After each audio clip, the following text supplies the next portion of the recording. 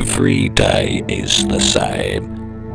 I fight, I conquer, I progress with the mission, the Dalek cause. I. I wonder, is the universe better with us? Or without?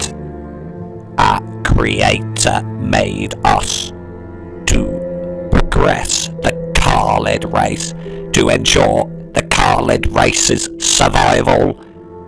However, we, we are not Kaled.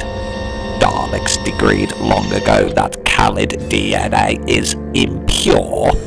This is illogical.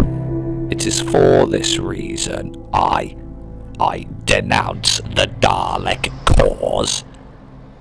It is for this reason I will contact the Predator, the oncoming storm, the one known as the Doctor.